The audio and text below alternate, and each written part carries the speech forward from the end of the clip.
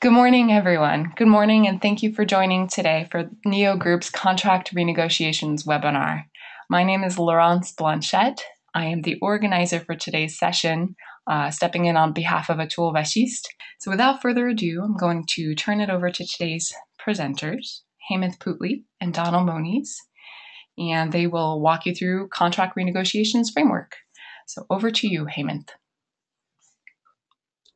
Thank you, Laurence, and uh, good morning, good afternoon, good evening to everybody, wherever you've dialed in from.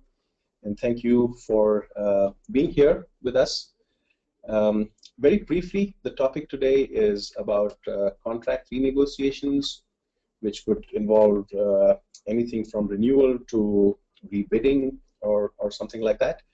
But essentially, the focus is on what do you do when you're approaching end of term with the contract that you're engaged in with your vendor, service provider, however you refer to them.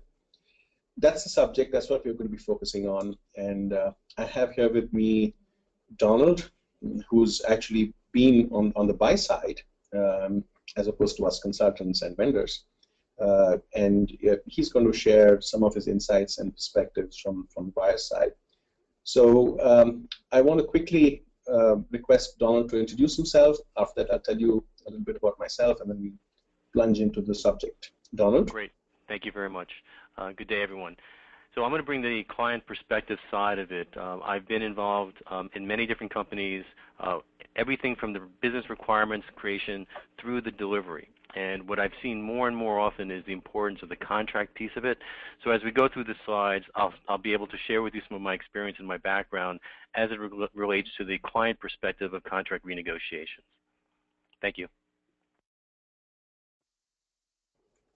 Thanks, uh, Donald. Um, I've been with Neo Group for about seven years now and uh, various uh, advisory engagements in mostly in the U.S., but also in other parts of uh, the Americas.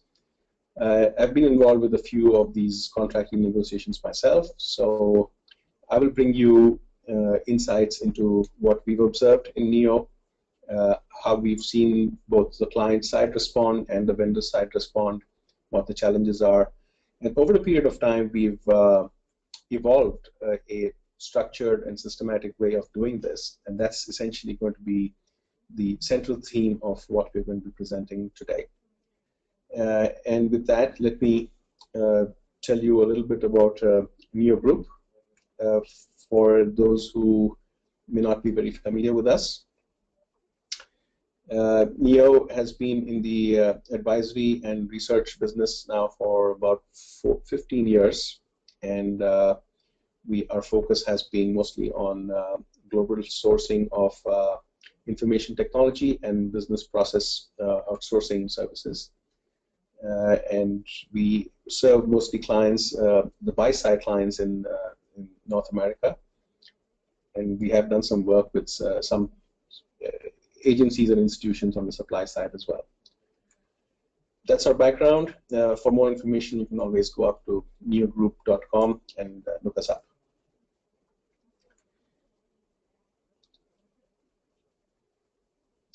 So the first question I'd like to ask this audience is, what are the kind of challenges, what is in fact your biggest challenge in um, your previous experiences with uh, vendor contract renegotiations? Th these are not first-time negotiations. This is what you do when you when the contract is, uh, needs to be renegotiated. So I'll leave you to think about that for a moment. Here are the choices that we'd like you to select. And uh, we'd like to see what uh, what kind of responses we get.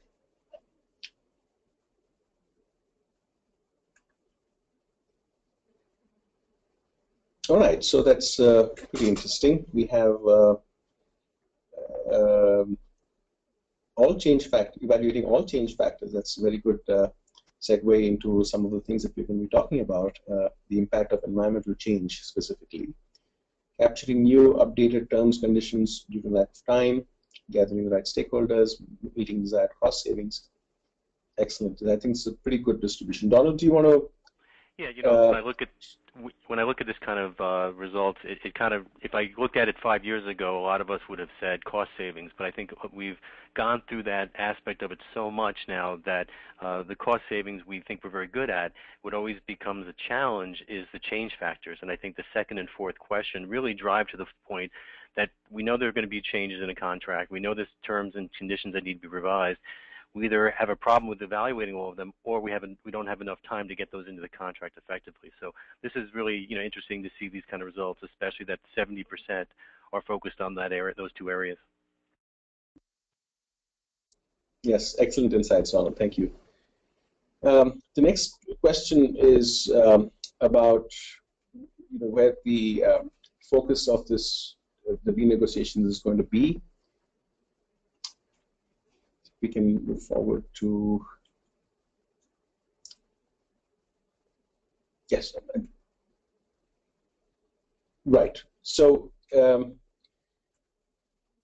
we, would like to just uh, ask the audience for um, the, where things stand right now with you. Uh, are you are you are you have do you have contracts coming up uh, within the next 12 months the next one or two years or in excess of 24 months. This is just to get a sense of the audience that we have here today and uh, uh, the situation they're in with respect to contract uh, end of term. So I'll give you a few seconds to respond to that and then we will take a look at the results.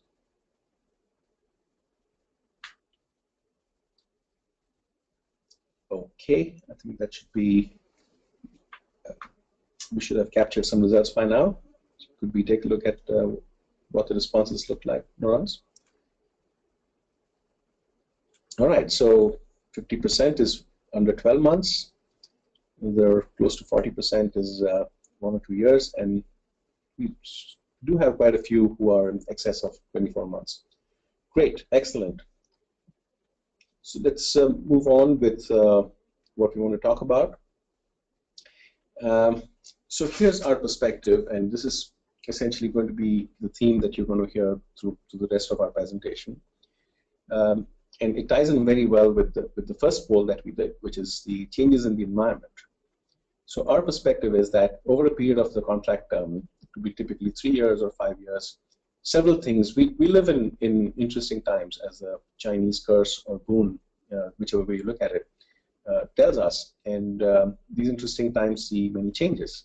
And there could be changes in the buyers industry, in the in the global sourcing industry, uh, industry structures, regulatory changes, business strategies, corporate actions, mergers and takeovers, whatever else. It could be significant change, new locations, new vendors, new services, uh, more competition, um, and change in the pricing structures. All of that impact the way you look at the contract that you already have.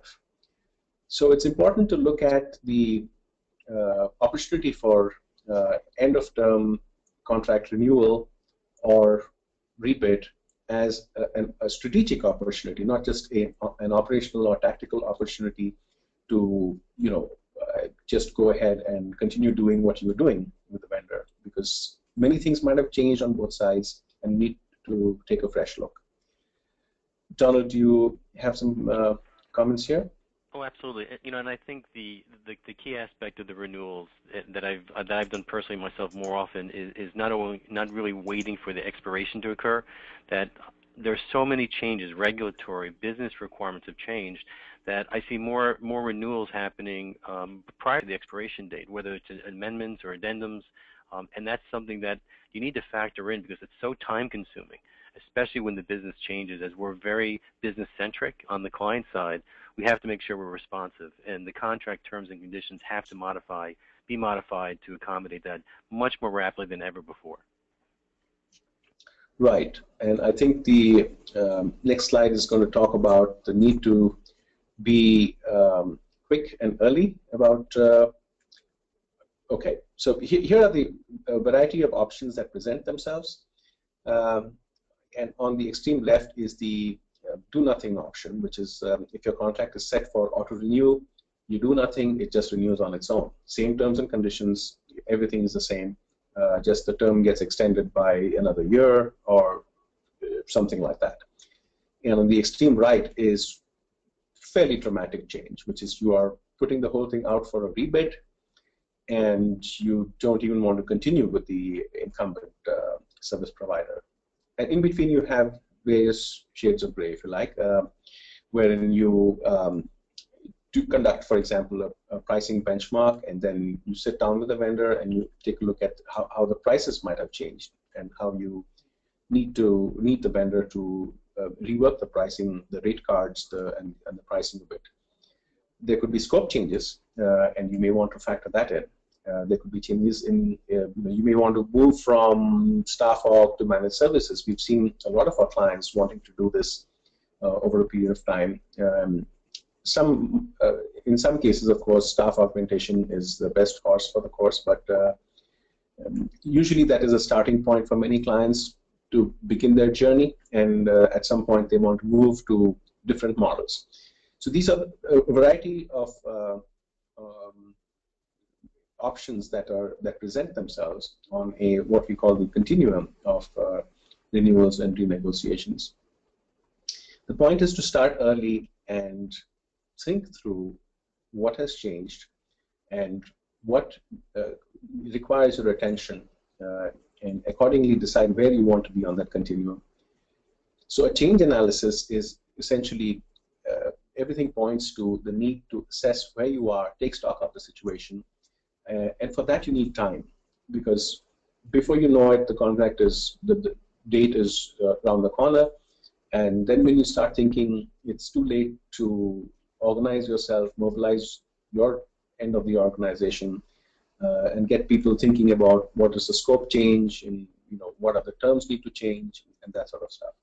So we recommend that give yourself a year approximately, depending on how many contracts you have, whether you're engaged with multiple vendors, and when they all come up for renewal.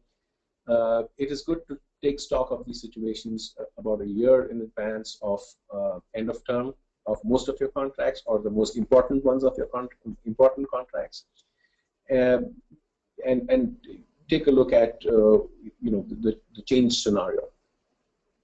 Donald, your thoughts on uh, starting early?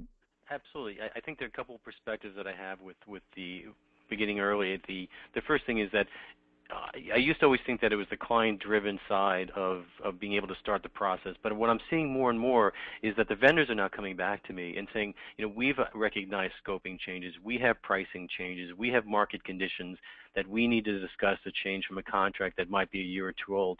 So I'm seeing the, the, the vendors actually coming back more often than not uh, on also asking for renewals. Not only price increases, but sometimes efficiency issues. The second thing that I want to bring up is, you know, I, I so many times I get into this 11th hour negotiation thinking it's, it's going to be really beneficial, where it's the end of the quarter, it's the end of the fiscal year with the vendor, um, or it's the end of the fiscal year for the client, and we, we seem to have different pricing and, and capabilities of, of, of spend.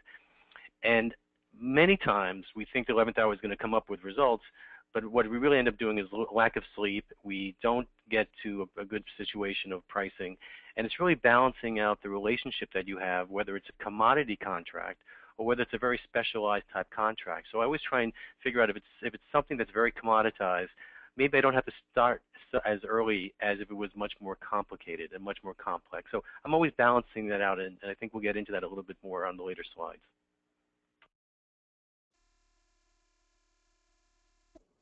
Right. Thanks, Donald. That, that's a good perspective from the buy side. Uh, I think we've been through this question. Uh, no, I'm sorry, we haven't been through this one yet. So, quick poll: When do you typically begin your uh, thinking about your your process of um, renewal or negotiation? Within three months of the end date, three to nine months of the end date, or in excess of nine months? And I'd be really interested in knowing what the reality is, um, at least to the extent that it's represented by the slice of the audience that we have here today. So I'll give you a few seconds and uh, we'll take a look at the results shortly.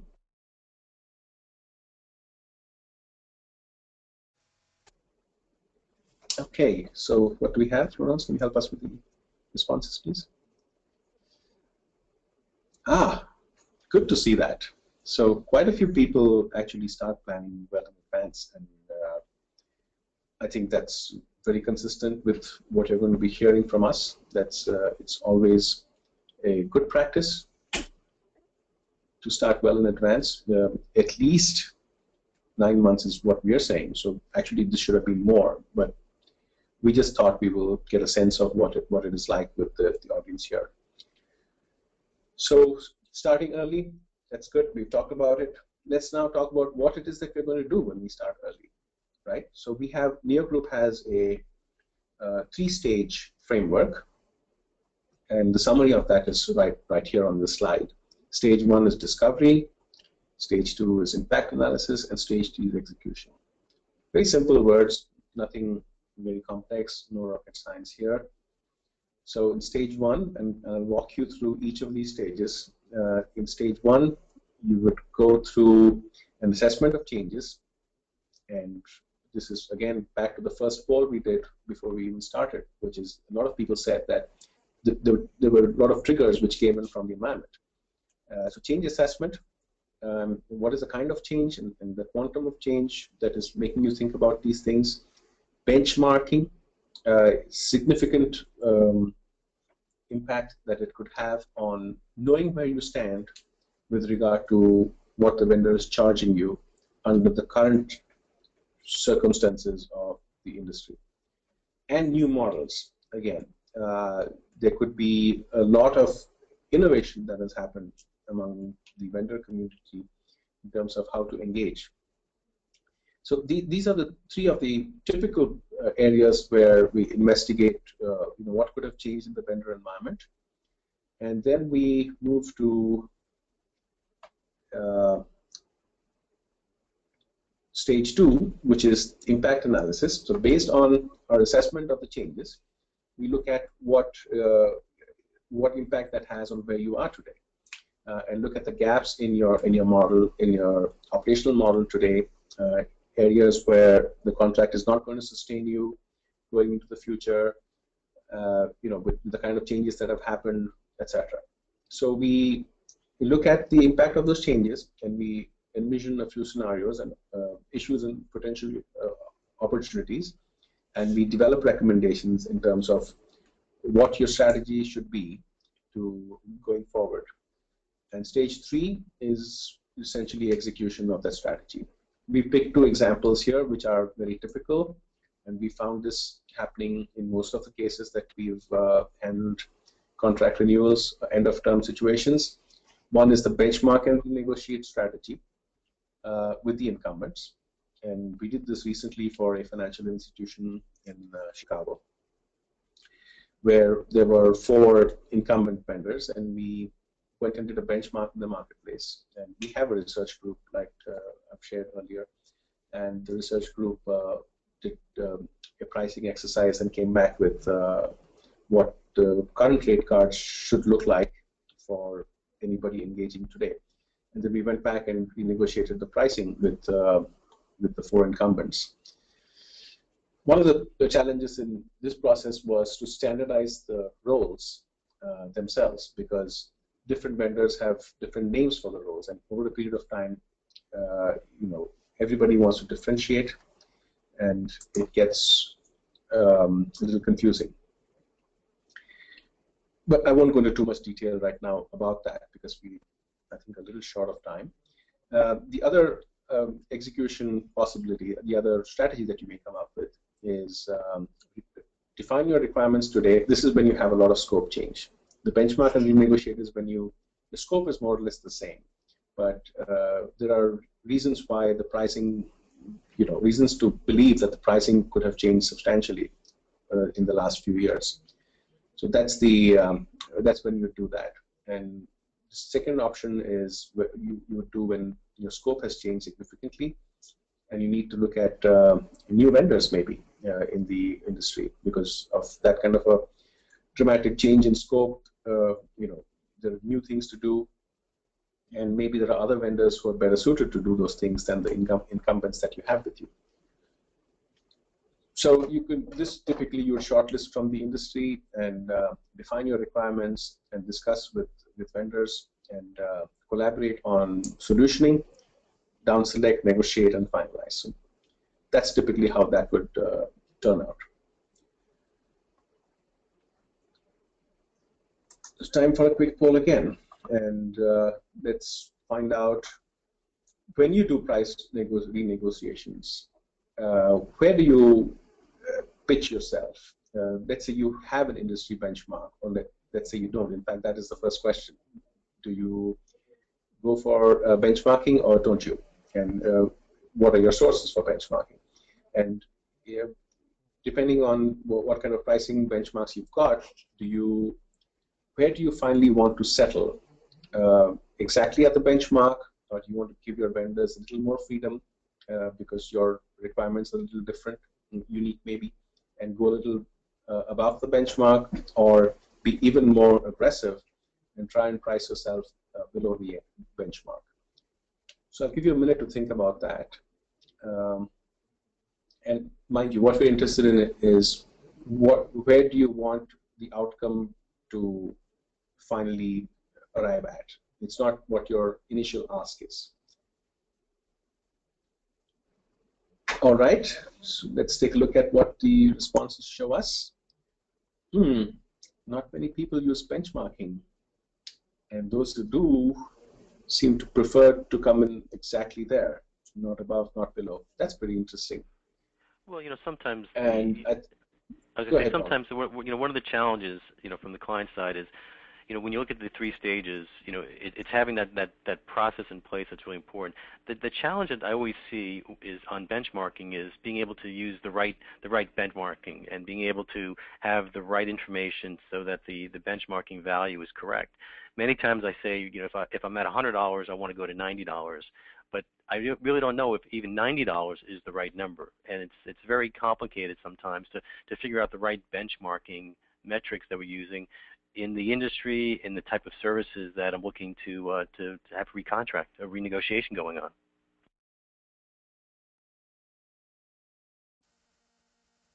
Right. Thank you, Donald. That's good insight. Um, now I'd like to talk a little bit uh, in more detail about uh, how to assess the change in stage one in the, in the discovery process. So what you have in front of you is uh, four quadrants of our change grid. Uh, on the left, you have the demand side of the industry. On the right, the supply side. And above the horizontal line, you have the uh, the environmental forces that prevail on the customer's um, business, the enterprise, or the, the global sourcing industry on the supply side. And below the line, you have the the actual organizations that are engaged in contract, which is typically for an IT contract, it would be the CIO organization. And it would be the, the particular um, vertical or horizontal or delivery management organization in the vendor's organization that is engaged with the CIO's uh, staff. So these are the four, four uh, domains, if you like, where changes could have happened. And there could be different kinds of changes which we will see in, in the next slide. Um, what might have changed uh, in, the, in the customer's um, industry overall, what might have changed in the vendor's industry, that's top left and top right respectively, what might have changed in the, in the IT shop uh, of, of, the customer, and what might have changed in the vendor organization with regard to uh, the team that is delivering services to the uh, CIO organization. Donald, I'm sure you've gone through at least uh, most of uh, what is on the left-hand side yourself, and you must have seen what's happening on the right-hand side with your vendors. Oh, absolutely. And I, I, think what I what I've always gone through with this kind of a listing, um, and you can add a lot more to it. There's a lot more individual items that could be added. It's looking at the importance of these and the impact is is not only on what, what what I would be looking from a client perspective, but also what's happening in the industry in terms of how it's going to impact me.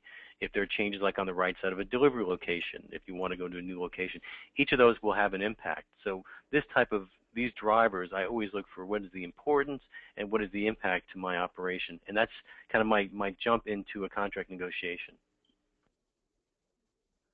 Absolutely, and uh, what what you just said, the emergence of new players, the emergence of new delivery locations, and the new engagement models, they represent a lot of opportunities for the customer organizations, which, quite frankly, if you don't, um, you know, take a look at and examine and evaluate these and, and relate them to yourselves, uh, you may just uh, miss miss the opportunity altogether if you're too internally focused and only thinking of you know uh, what uh, is happening within your organization and not so much what's happening within the sourcing industry. Uh, you might miss those opportunities, and they are really great opportunities. They can help you get a lot of value and save a lot of costs, both. So that is um, something that is uh, very critical uh, for um, the buy-side organization to focus on. Uh, and while on that subject, I think uh, a little more detail in the next slide about uh, maturity and what uh, our framework to look at maturity on the supply side. And let's start with uh, service capability on the top left, which is uh, these are the, the, the criteria that we look for in, in what has um, changed and improved on, on the sell side with the incumbents or with other uh, participants. The breadth and the depth of the service, how, how they're delivered, and how they're managed, and how quality is assured.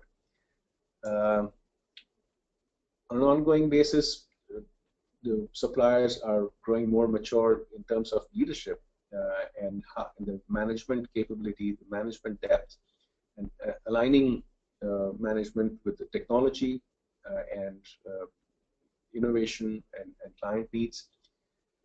There could be evolutionary and innovative changes happening in the way vendors are organizing themselves within the within uh, their, organization, and especially at um, larger uh, organizations in higher tiers, managing such large organizations becomes quite unwieldy. So it's interesting to see how they they orient themselves, reorient themselves to the market, and how they clarify their, their vision and strategy and build capability and uh, capacity. Uh, other parameters include developing the technology edge, um, managing the customer account, and managing their own people. And many vendors have started focusing a lot on their employees. Uh, without naming a few, I, I, think some of these slogans you might, you might be familiar with where, where vendors actually put employees first um, over and above everything else. Uh, but that again is a reflection, regardless of whether you agree with that or not, it's a reflection of how important um, HRM and human resource management has become uh, in today's time with regard to achieving a certain level of maturity the, on the supply side. Donald, you must have seen a lot of your vendors also going through this uh, curve, if you like, and evolving oh, towards maturity you know, and I think that what I what I've used this for is is when I go through my vendor classification, where I look at my strategic vendors through my commodity vendors. It's important to try and figure out where they fall within this category. It could be monthly meetings that you have with the vendors, or it could be dashboards that are created. The challenge that I've always faced is being able to validate my findings. That is it unique to to my situation with that vendor, or is that a continuing uh, issue or concern or benefit of that vendor with with all the other clients that a vendor might be working with. And you know, the, the, when I hear things like you know, vendor uh, where vendor would say that it's employee first, their employee first, um, I have to think about how does that impact me, and where on this this listing does it have impact to my operation. So I, again, I go back and I look at this and how do I validate it, and that's where I've, I've tend to use uh, advisory firms to be able to validate what my findings are. So it's so I know it's not unique to me or unique to my sales team. Great, thank you, uh, and thank you for opening that uh, opportunity for advisory firms like us, where we can um, hopefully work with you and buyers and uh, provide uh, our insights, uh, our recommendations, and, and help you improve. So this is uh, stage, the stage where you look at the changes and how they impact, how those changes impact you is what you then examine in uh, the impact analysis. You look at where you are today with your existing contract, where you are today with regard to all the changes that have happened since when you signed that contract, and where you're going to go in the future. And so these are the three dimensions, if you like, um, which sort of constitute the impact analysis. And I would uh, liken this to a, either a, a, car that is kind of going off track because it lacks wheel alignment or a shopping cart, and I, am sure you all you're all familiar with this experience, or in an airport or in a, in a, uh, when you go shopping, if you have a cart that has wheels that kind of it tends to uh, deviate from the straight uh, path, you always have to keep correcting the course of, of that particular cart as you push it along. So this is somewhat like that. The, the contract that you've signed is going in a certain direction, but the changes that have happened are going in another direction that obviously leads to gaps. And those gaps could be at any level. Uh, we talked about pricing, we talked about benchmarking, we talked about the engagement models, um, operating models, uh, legal, regulatory, and of course the most important gap, which is alignment with business objectives. So that's what we do in this stage. Donald, uh, you, you must have observed that uh, when you come up for, when contracts come up for renewal, there are significant uh, gaps between what you started out with five years ago and where things are now.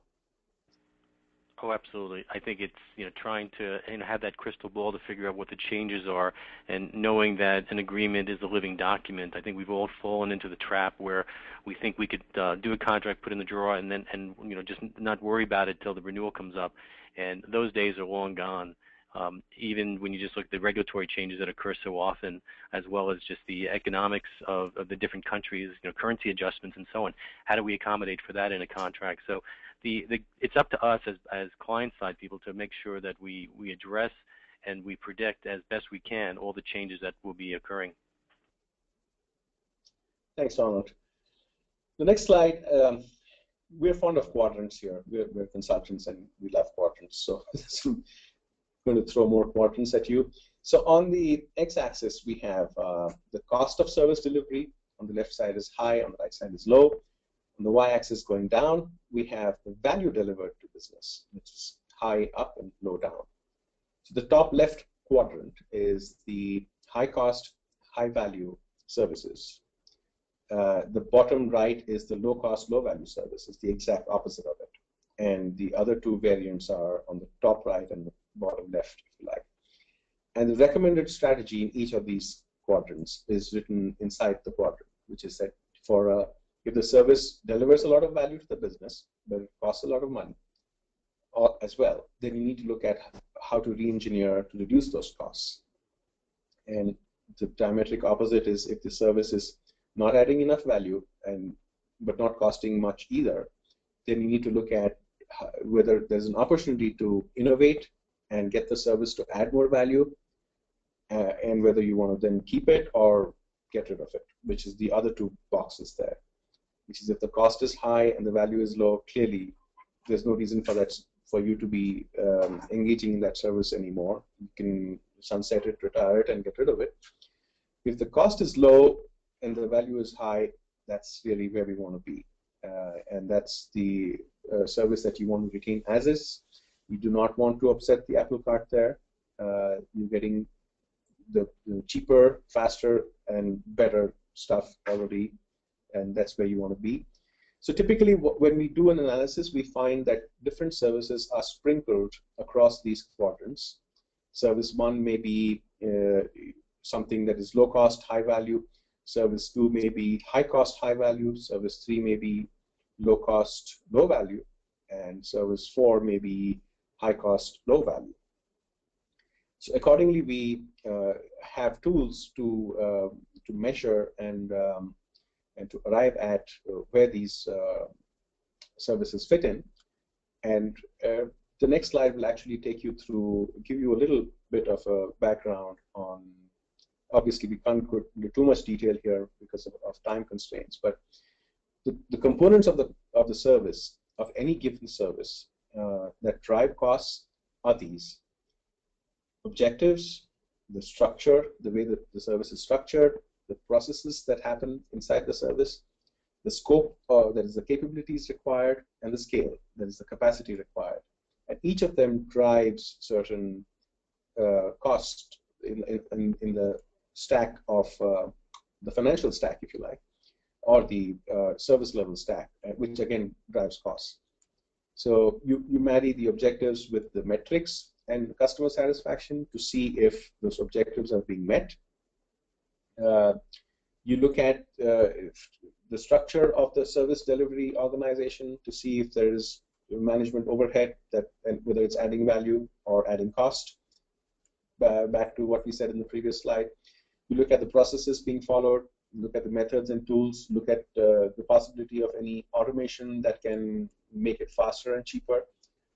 And then you look at the scope, which is the, the roles and the way the uh, delivery team pyramid looks, uh, Uh, you know, how that is structured, whether we have the right people at the right points in, the, in that organization, and lastly, whether you have the right number of FTEs on the job.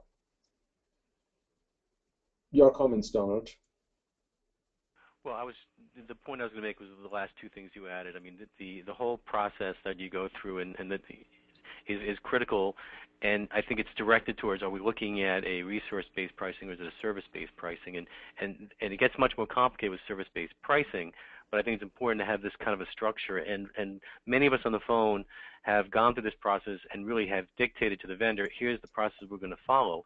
And it makes a big difference to have these things kind of laid out. And it's the game plan. And for those that haven't used this structure before with a vendor, you know, it's a great way of being able to get a vendor to see the right process to engage with you. And if they can't follow these processes, you really need to question whether it's the right vendor for you uh, to be able to deliver in the right way. So I always like these kind of uh, displays as a good way of, of preparing for the negotiations. Right. Thank you, Donald. Uh, this has been distilled out of many uh, experiences, so hopefully it represents kind of, at least at an abstract level, you know, as kind of a strong model of how we need to proceed uh, in these situations. So um, I would now invite Donald to share uh, some of his perspectives, insights, and experiences from the customer end. Take it away, Donald. Thank you very much. So many of you know me, and I'm very passionate about the relationship aspect of, of what we do with our vendors, whether it's onshore, nearshore, or offshore. And I think when we look at the whole negotiation process, what I always kind of step back and look at is, is how do I get to that handshake? Um, and I'll talk about win-win in a second, but how do we get to the handshake?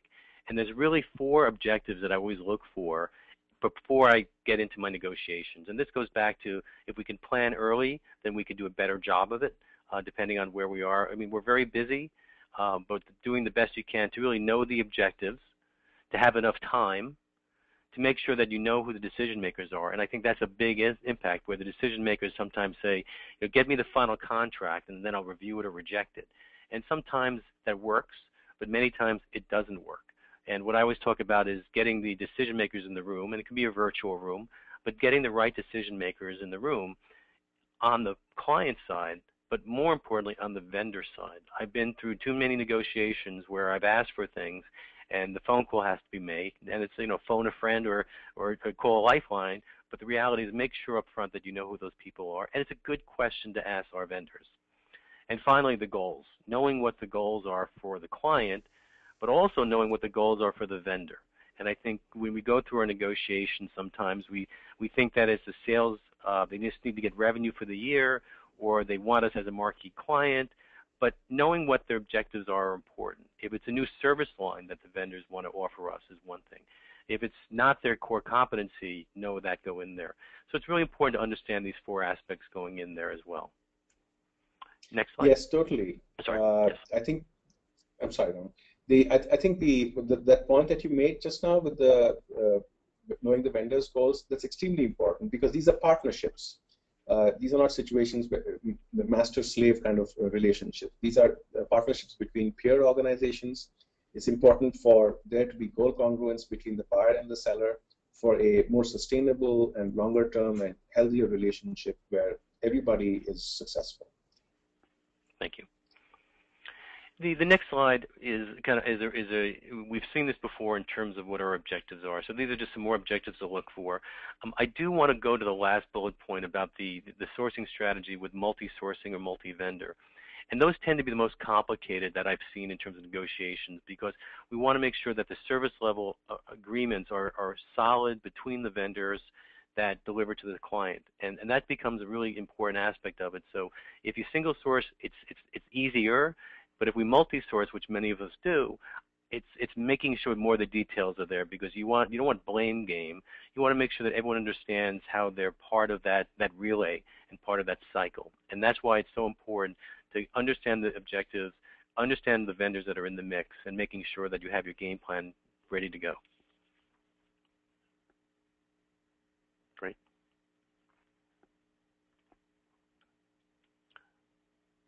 So we have another uh, another quick poll. Um, other than cost savings, what is the most common reason to consider renegotiation as opposed to order renewal?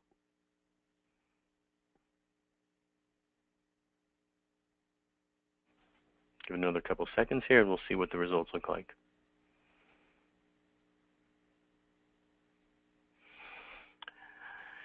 So accommodating scope change, resolving performance, um, implementing new sourcing strategies, zero, and nagging feeling. And, and, that's my favorite, the nagging feeling that things could be better. Um, you know, I always look at when I go through my contracts, what did I forget? And and and, I, and I'm I'm not selling using consultants all the time, but I will say that the times that I looked at consultants to help me with, you know, there's something not right. I just can't figure out what it is.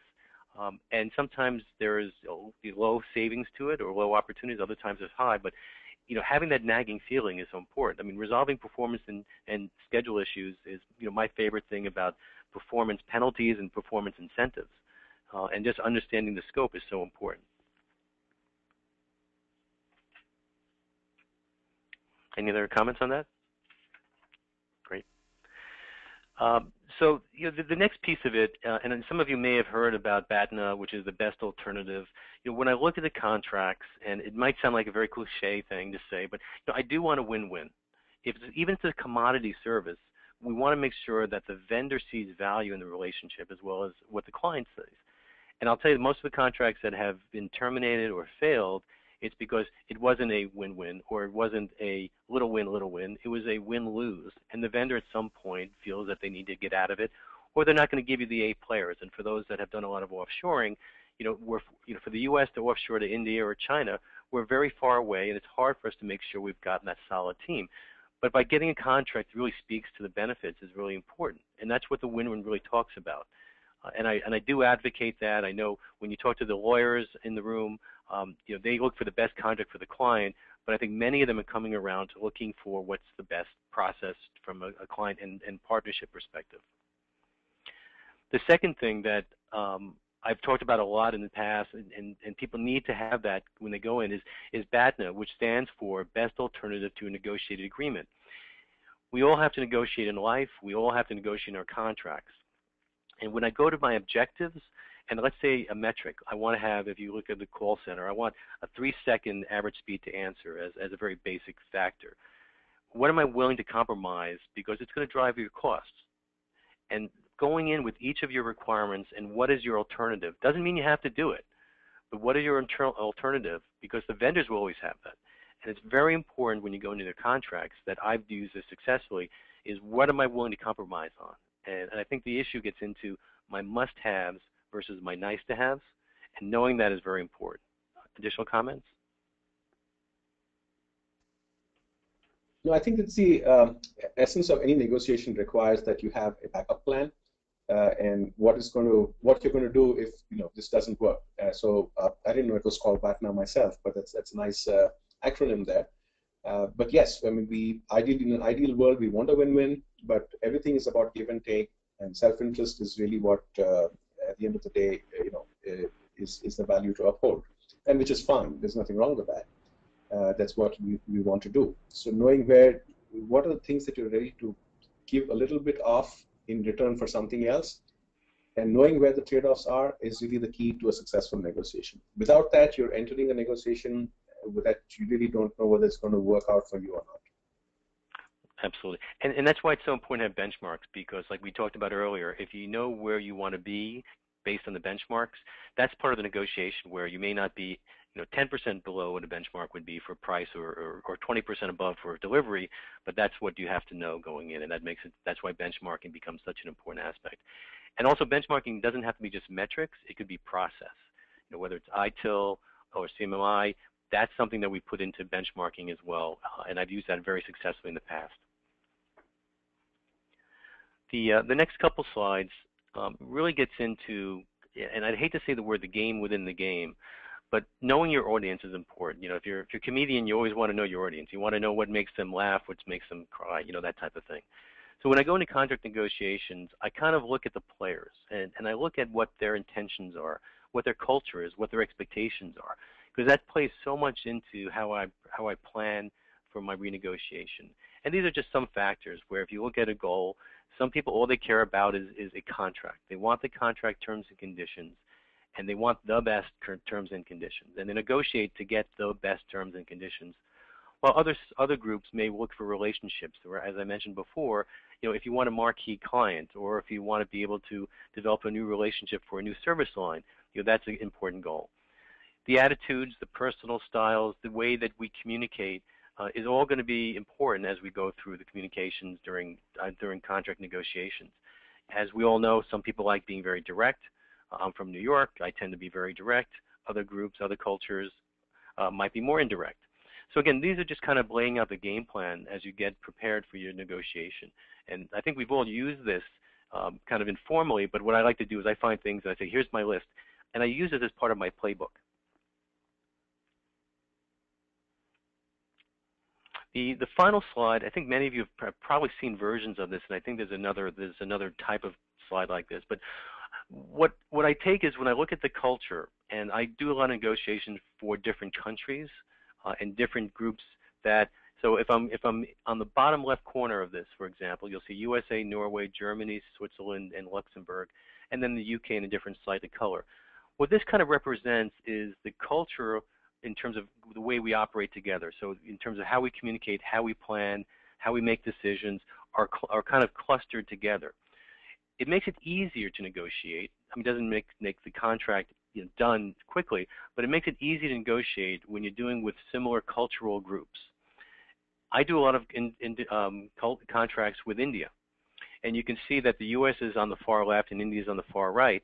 Doesn't mean we can't come to terms. I've done a lot of contracts with with Indian companies, but the point is I need to understand where the cultural differences are so that I could I could prepare my contract negotiations in that proper way and you can see that if on the far right, you know, you have emotional, you have, you know, impulsive, and then you have other groups that are, are different. This is just a good way of looking at who the players are, which countries you're going to be dealing with, and build your strategy to do your contract renegotiation based on these cultural matches. And as I said, it's not that we can't work. It's just that we need to change the way we operate and the way we negotiate. And for those on the phone that have done contracts with Japan, there's a very strong hierarchical process that we have to follow when we do contracts with Japan. That's what this looks at. And that's how I use this chart. And again, I put this as part of my playbook, and all the members of my team will be familiar with this. And that's really important as we go through it. Thank you. All right. I think, uh, Donald, thank you for sharing uh, your customers' uh, perspective on the buy side. Um, we'll now uh, open it out to questions. Um, we'd love to hear your feedback. Uh, and on behalf of Atul, uh, Donald, and, and, the entire NEO team, we, we would be happy to take these conversations forward even after we end, which is, I think, in another five or ten minutes. Uh, but before that, let me uh, throw it open to you for questions uh, and try and take as many of them as we can in the time that we have.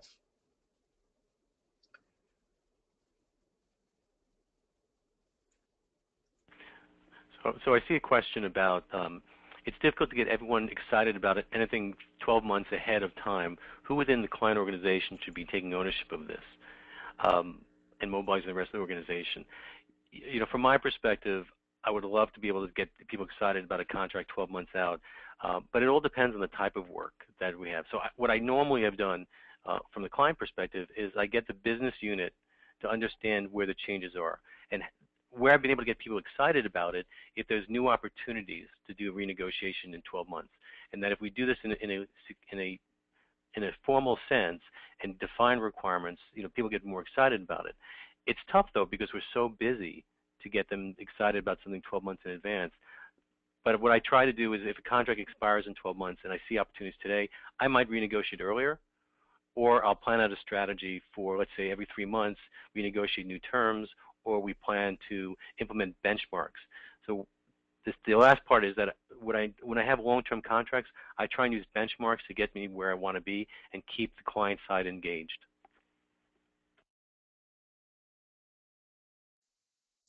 Yes, I think uh, if I can add to that, um, Donald, yeah, I think the it, it's very important to know how to mobilize uh, yourself. Uh, when we, we talked about the benefits of starting well in advance, but the tendency of a lot of people is that ah, we have enough time, we will, we'll, uh, uh, more.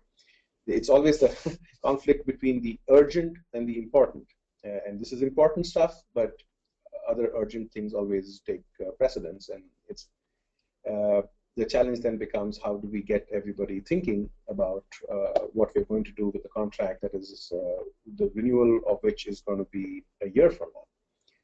So yes, that is that is an important question. I think we need to focus on how, how to work that through. Yeah, and actually, while I'm waiting for more questions, I had a question for you. So when we go through all these different models and, and, and stages, I, I, think the one thing I had I, we spoke about yesterday was is this universal for all industries, for all service types, or how does it get modified if I'm doing, um, you know, a commodity for media and for infrastructure support versus something else? How do I change these models to to accommodate that?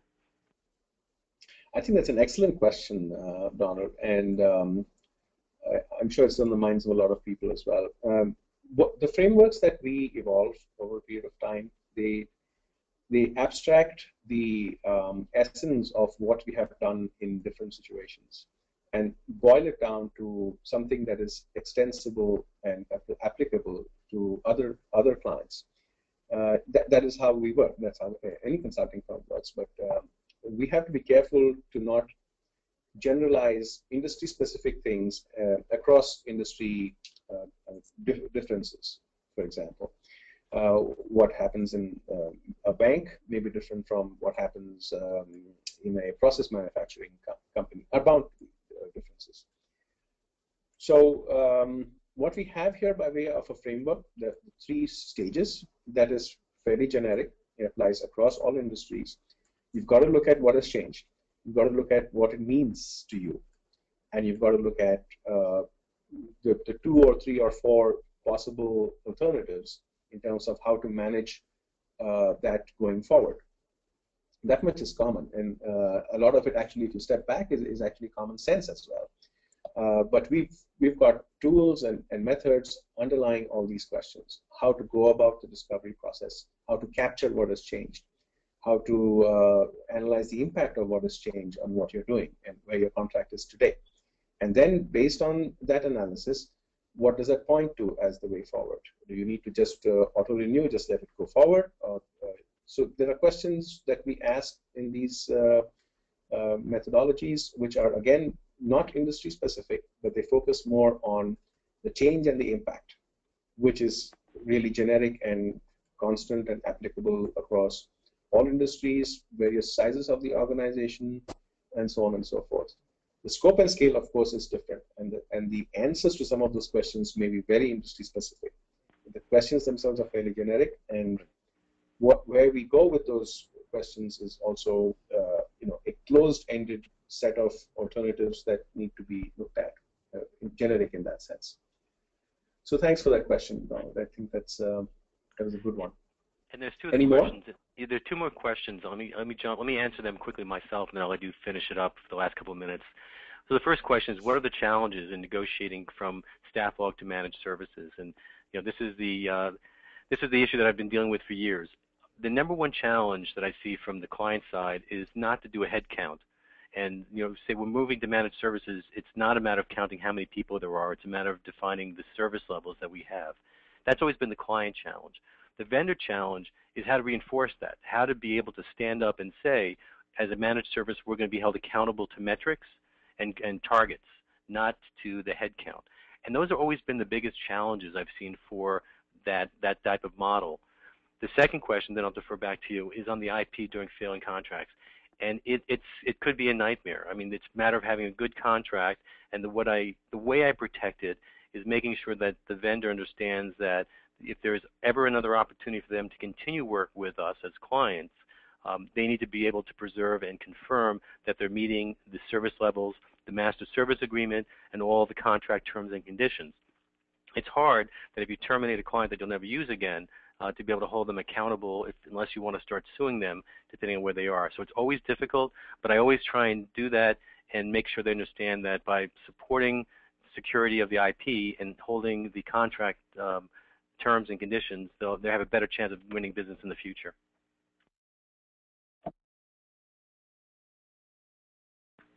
Back to you.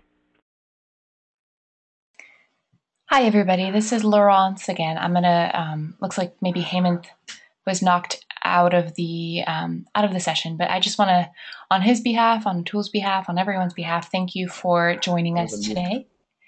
And um, thanks for joining us. Just a reminder that recording will be shared in the next couple of days via email. I'll also uh, be sharing the PDF version of our presentation deck, so all the, uh, the great information will be, you know, easy to easily available and easy to share with your networks and contacts. So, thanks everybody one more time, and um, if you have any follow up questions or anything like that, you can very easily reach out to us info at neogroup.com, specifically to Hemant at Hemant at neogroup.com. And um, once again, thank you. Have a great rest of your day. Yes, I was on mute, so thank you everybody, and I'm back here, and I'd love to hear from you. Thanks, and have a wonderful day.